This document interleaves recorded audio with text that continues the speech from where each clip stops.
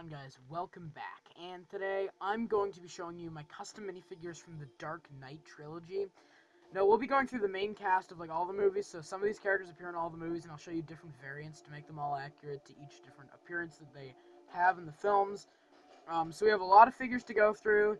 Uh, so the, this will be covering uh, custom minifigures, purist customs. None of these are painted or sharpied or anything. Um, this will be all purist from uh, Batman Begins to The Dark Knight. So we're going to start off with our main character, lead character, of course, Bruce Wayne, uh, in his normal outfit. And for all three movies, I have the same torso and legs from Jacob Kowalski from the Harry Potter and Fantastic Beasts CMF series. Um, it just works the best for a normal gray suit, which he wears a lot of the sim- a lot of similar suits throughout all three films. Um, you may think it looks a little portly, like it looks a little fat, but it doesn't really bother me, like the printing there. Um, the face uh, is from, for when he's like shaved. I got the Legolas face, which also comes on the Atlantean Guards from the um, uh, Aquaman Battle of Atlantis from Justice League. So the main hair that I would say use for him is this black uh, Ulysses Klaue hair um, for him. Then if you want uh, his the hair that I just showed you, which uh, is best for the Dark Knight Rises, the third and final film in the trilogy is the Han Solo hair. Uh, so it's it's more light brown than the black. So maybe you'd want to change this hairpiece to brown instead because like it does match the brown eyebrows more. But that's just how I would do it. And then if you want him to, when he's got his beard, when he goes to um, the League of Shadows temple or whatever the heck, uh, and at the beginning of the Dark Knight Rises, if you want him to have his beard and he hasn't shaved, use the face from Doctor Strange. Uh, it's similar to Doctor Strange uh, when he goes to Ghul. Like uh, Doctor Strange definitely borrowed some elements from Batman Begins in that opening scene, if you think about it. And then obviously he got, he got his back broken at the end of the Dark Knight, and he has a walking stick or like a cane. So I gave him this walking, just a plain pole piece for like a little walking stick. So that's how you can design Bruce Wayne from all three films. Next up, let's go to Batman. Now there were two sets made for the Dark Knight trilogy. One for the Dark Knight a few years ago with the Ultimate Batmobile with the accurate Heath Ledger Joker and a more accurate Batman figure. And in 2012 for the Dark Knight Rises, there was a Bat uh, Batman Dark Knight Rises set that had um, the Tumbler, the Bat, and uh, Batman, uh, Gordon, and um, Bane. I won't be showing you Bane because there's really no way to make him in purist in the purist method. But anyway, for this Batman, I got the torso from the Lego Dimensions one. It looks the best for a film accurate version. And I gave him the uh, dark gunmetal gray and silver legs from the armored Batman from Batman vs. Superman with gunmetal arms with black hands just to add more silver detail to him. I gave him the silver Batarang is that it no none of the Batarang Lego pieces are really accurate, but it's the best in that color. Black cape and then for the version of um, Batman played by um uh what's his name? Oh man, what's his name? The actor. Um, I forget. But that this version of Batman from the Dark Knight trilogy, his eyes, you actually just see his normal human eyes through the mask. So I would suggest using one of these faces where they have a black bar across the top with just a little bit of eyes showing. So this one's from the Lego Batman movie. It came in a lot of sets uh, for like the squinty eyes and the more aggressive look. And then my personal favorite one, the one from the Lego movie uh, Micromanager set where he's looking super angry here. Um, really like that look. Uh, so yeah, that's how you can design Batman, and then, and then, use the cowl from the, like the smaller cowl, uh, not the the more like common one, um, which I think I have here somewhere. Don't use this cowl with the bottom piece on, because that's not accurate. This one is more accurate to the Dark Knight trilogy. So that's how I designed Batman. Next up, we have his girlfriend Rachel, who dies. Spoiler alert in the Dark Knight, but it's came out in 2008, like uh, over 10 years ago, so yeah, uh, sorry about that. Um, um, but the hair is from Wonder Woman, from uh, Batman vs. Superman, Wonder Woman, Justice League. You can get in all those sets. The face is uh, from Tina Goldstein, and I just gave this because later on I used the Qi'ra face from Solo or Captain Marvel. Uh, it came on Qi'ra and Captain Marvel. Um, but you can use that, but I use it for a character later on, so I just wanted to give it some variety. So I used the Tina Goldstein head. And the torso and legs are from Queenie Goldstein, because she wears a lot of dresses. They go to a lot of parties and stuff. So, uh, that's just the best I thought uh, worked for her. Like, the uh, Queenie Goldstein from the Harry Potter and Fantastic Beasts CMF series. That's how I designed Rachel. Um, next up we have Morgan Freeman's character, um, Lucius Fox. He appears in all three films, and uh, I gave him this phone because he's like the tech guy who has all the armored stuff for Batman and all the tech. So I gave him a phone so he can communicate with Batman. The torso's from Knight Rider, but I got it from the uh, Spider-Man Homecoming bank robbery set. I uh, just gave it some brown hands to match the head. And the legs um, are the Death Star Trooper legs with a little bit of printing to add to the look. The face is from Falcon from Avengers Infinity War. It's got the mustache there, uh, the nice mustache look for uh, Morgan Freeman. And he has, I gave him the gray Slughorn hairpiece, the Professor Slughorn hairpiece from the Harry Potter Bricktober pack. So that's how I designed Lucius Fox. Next up, we have Scarecrow, or Dr. Crane, or whatever you want to call him. So this figure is pretty hard to design. Uh, for his for Scarecrow in the movies, he doesn't really look like the comic books. He just has like a an old dirty bag or mask that he puts over his head. So uh, you want to see my mask? But um, for the for the mask, I just got the Lego Batman movie Scarecrow head, and you can just put it on like this without the hat. The torso's from like an old Harry Potter figure. I don't know where it's from. It might be from Lex Luthor actually. I don't know where this torso's from, and just plain black legs.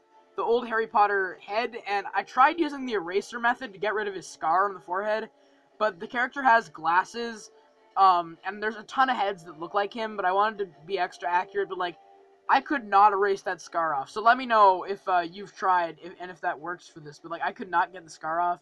So if you can get the scar off somehow, I'd recommend doing that. And then I used the Jacob Kowalski brown hair. And then for an example, here's what he looks like with the Scarecrow mask on.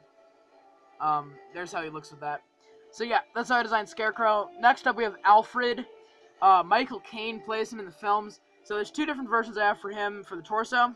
The hair is the white hair that you can get from Grindelwald and in a lot of sets. Uh, the face is from Professor Slughorn. I just really like it. It looks kind of old.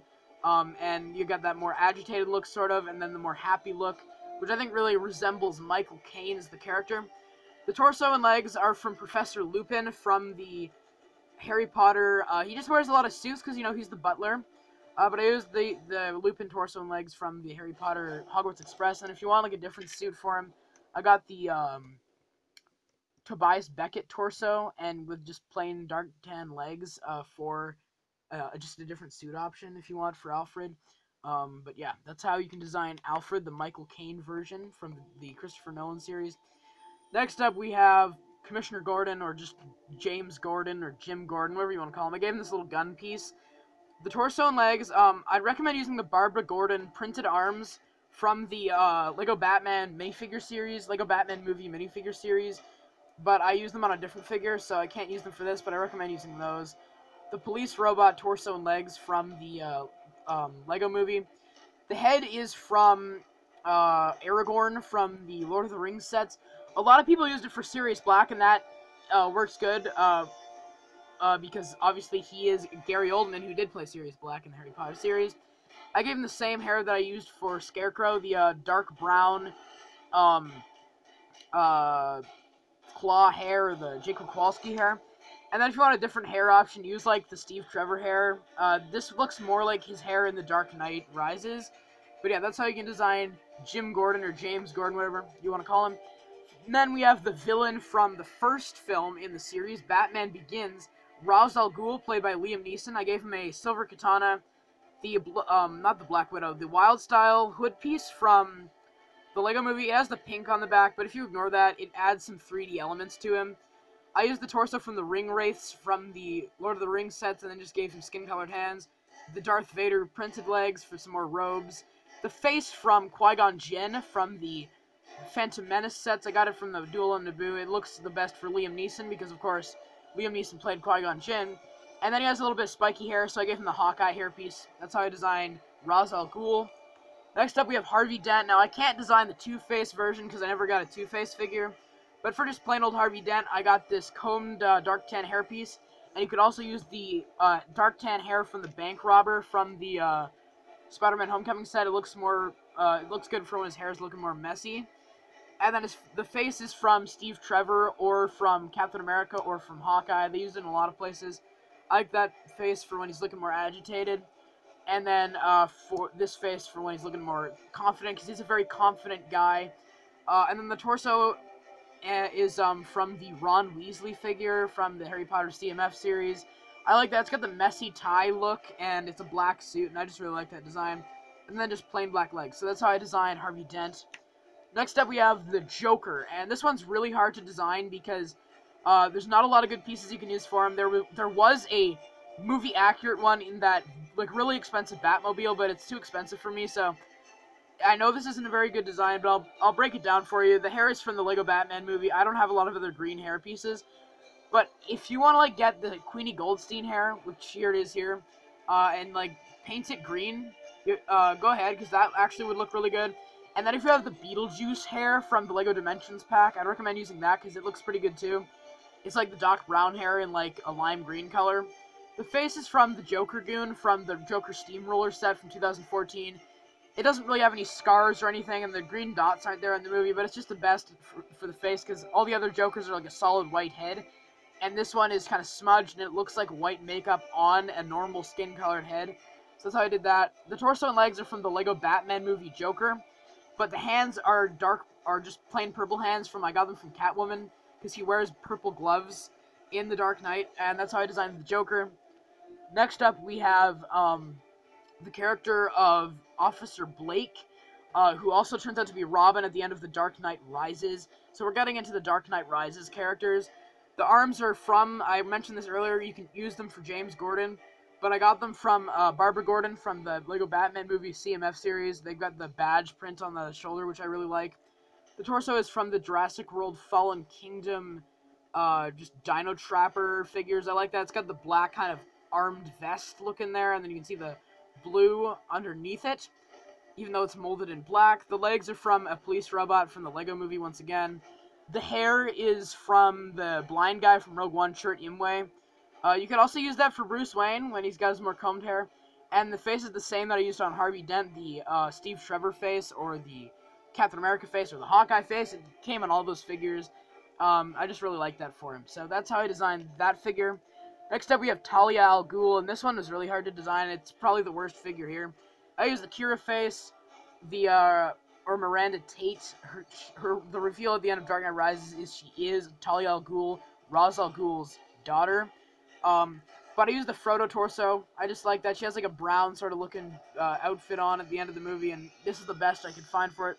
So the Frodo torso, this knife, because she stabs Batman, and she has her whole speech about how that's the knife that cuts deepest. Plain black legs, and the Rey hair from Star Wars, and the Qi'ra face. Once again, I probably already mentioned that, but you can also get it on Captain Marvel. So that's how I designed Talia al Ghul or Miranda Tate. Then we have Catwoman, and this one's really hard to design. The face is from the Wasp or from Agent 13 from the Marvel sets. The torso, uh, plain, I just gave her plain black legs, and the torso, arms, and hands plain black arms and plain black hands. The torso is from Age of Ultron Black Widow, because um, she has a similar design to Black Widow. And then, so here's the weird thing. In the comic books, Catwoman has like a, a full-on cowl similar to um, uh, Batman. But in the movie, she wears like these weird little like this face mask and then like these little ears on top. So the best I could find for that is the Batgirl from the 2014 Joker Steamroller. She, it has red hair which isn't accurate, but it's the best thing I could find with the ears and all that. And then if you want her with just her plain hair, uh, you could use like this elf hair from Arwen from the um um the Lord of the Rings sets. I don't know. It's a really hard figure to design. Uh, I don't have a lot of dark brown or brown female hair pieces, so you could use the Wonder Woman hair once again if you want. But yeah, this figure is really hard to design. Uh, so yeah, this is not an easy figure to design, but um, I did the best I could for her. So yeah, that's how I designed these minifigures from the Dark Knight trilogy. Just finished re-reviewing all the movies, and I wanted to show you... I keep showing these figures in the thumbnail and like as my little display that I put in front of the camera in all those videos. So I wanted to show you how I designed all my Dark Knight trilogy minifigures. Um, really enjoyed doing this. Let me know if they helped you design your own, and let me know if you have any of the original Dark Knight sets, the Ultimate Collector Series Batmobile, I think, and then the, um, um, the old, like, Batwing set. Let me know if you have any of those sets, and let me know if this helps you design your own Dark Knight Trilogy minifigures. And, uh, yeah, I hope you guys have a great day. take care,